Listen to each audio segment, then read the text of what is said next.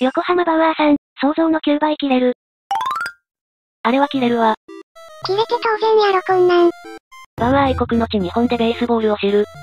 ガチで切れてて草。ひどすぎるもの。さすがに草。怒りの100マイル。誰でも切れるわあんなん。違うやり方あるやろ。Y でも切れるわ。雰囲気悪くなるやろ。バウアー面白すぎやろ。これもう令和の下柳だろ。ブチギレってレベルじゃないくらいブチギレで草。ベンチ戻った途端にグラブ投げつけてたな。こいつ明らかに見下してて興奮するわ。マイコラス以来の逸材。このまま帰ってそう。これがバウアーに求めてたものなんだよな。中日もビビって無得点らしい。これでバウアー攻めるやつおらんやろ。Y がバウアーならセカンドフライも自分で走って取りに行くわ。Y 横浜さん。バウアーに申し訳ないわ。クソ守備すぎる。バウアーの YouTube が楽しみになるプレイ。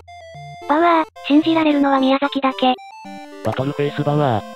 明日の動画。ファンにもチームメイトにも失礼な態度をとってしまった。本当に申し訳ないです。